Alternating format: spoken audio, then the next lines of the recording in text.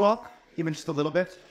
Um, so I was raised in a really traditional Christian home in Canada, and my parents loved each other. They've been together 50 years. They still love each other. They love us as kids. I remember being young, and my parents, my dad told me to love me so often that I got annoyed.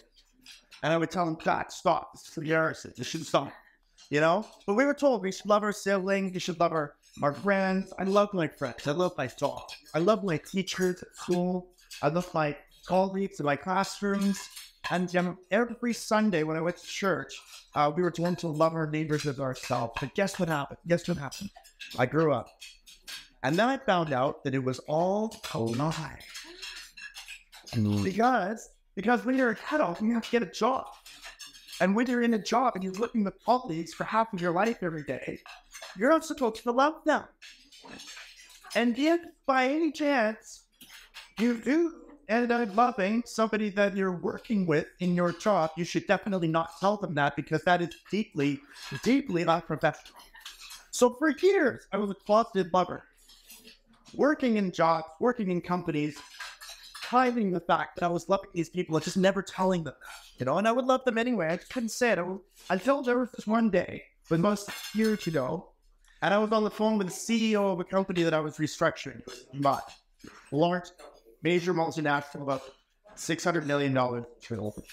And I was talking to the CEO through some of the challenges that we were having in implementing the changes that we wanted to make, the impact of those changes on some of their key executives. And we'd been on the phone for about 45 minutes, and it was a really intense phone call. And so at the very end, just as I was about to hang up, I said, Okay, I'll see you on Monday. I love you. And then I went, and I was I was reaching so fast for that red button, you know, to turn it off. And I was like, oh, did I just tell my CEO client that I loved them? And I was reaching down to push the button, and then I heard oh, it was the whole horrible thing. I heard his voice through the tiny microphone reaching back to me yeah, cool. See you Monday. Love you too. And that was it. I hung up. And we never spoke of it again. But they got me thinking, you know, why? Why is it that the highest quality relationship humans can have is intentionally exiled from the place where we spend the most amount of time with each other? Why is that? And so I started to think deeply about love of work and the impact of what that might be. I started to read books by Amy Edmondson, who I met here at the House of Lords in November. She is absolutely brilliant. She is the pioneer of psychological safety and organization, the highest form of which is love.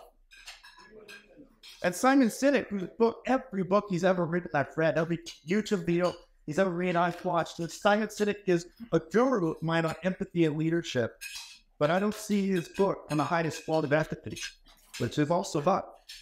It seems interesting because organizations and leadership and in human relationships, love is a shortcut.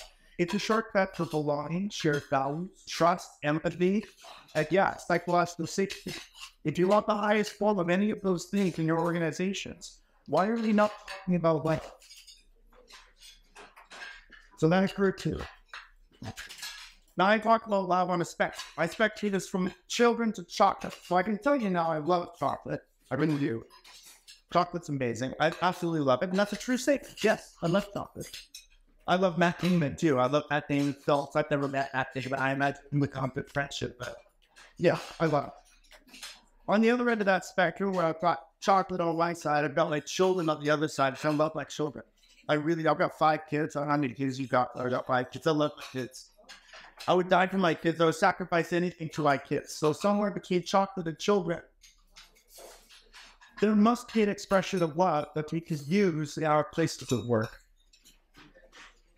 Am I right?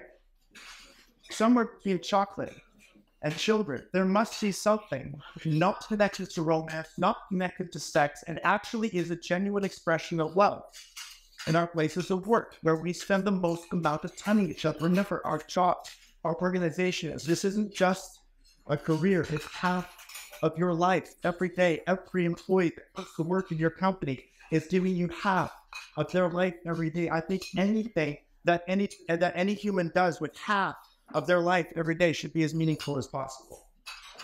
And the highest form of that being in human relationships is love. So I look I looked around for the book. I looked around for the book I love, the teacher book. I looked for it. I can't find it. I found a dozen books on belonging. I found a dozen books on shared values. I found a dozen books on psychological safety, but not one. And I love. So, so I wrote it. It was published in December. It very quickly became the global Amazon number one bestseller.